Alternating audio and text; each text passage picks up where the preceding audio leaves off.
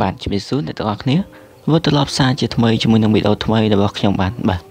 អឺនៅថ្ងៃនេះដែរខ្ញុំនឹងបង្ហាញពីការ copy ឯកសារពីក្នុងកុំព្យូទ័រចូលទៅក្នុង Flash បាទ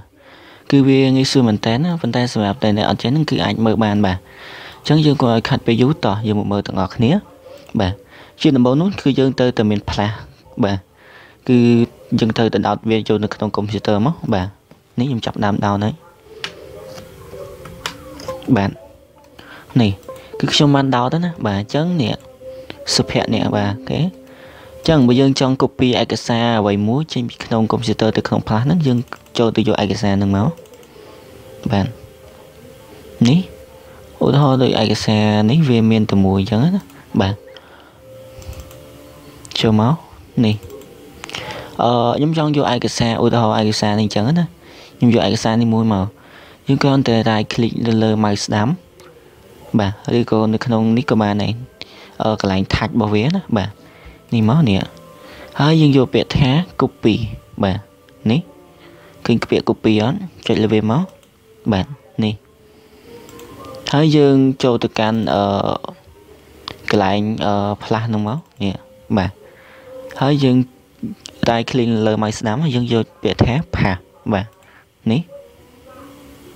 បាទគឺវាកំពុងតែ copy ចូលណាបាទអញ្ចឹងបើសិនជាវាកាន់តែងាយស្រួលមែនទែនយើងត្រូវប្រើ shortcut ណាបាទដូចជាអានេះមួយអញ្ចឹងយើងត្រូវចុចលើវាអញ្ចឹងយើងគ្រាន់តែចុចទៅយើងប្រើពាក្យថានេះ control អឺ C បាទនេះ control C ណាបាទចុចមកប៉ុណ្ណឹងដល់ពេលយើងផាសវាមកវិញមកគឺ control V បាទឃើញទេ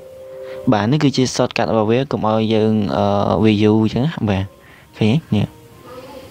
ចឹងបើយើងចង់ copy វាវិញគឺដូចគ្នាយើងគ្រាន់តែ copy ពីលើនឹងមួយទៅហើយទៅដាក់នៅលើ desktop នឹងមួយទៅបាទ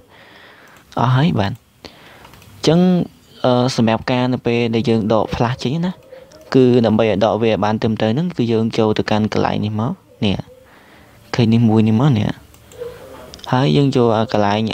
safely remove hardware យើងយកហ្នឹងមកហើយយកពាក្យថា Egypt USB flash drive បាទ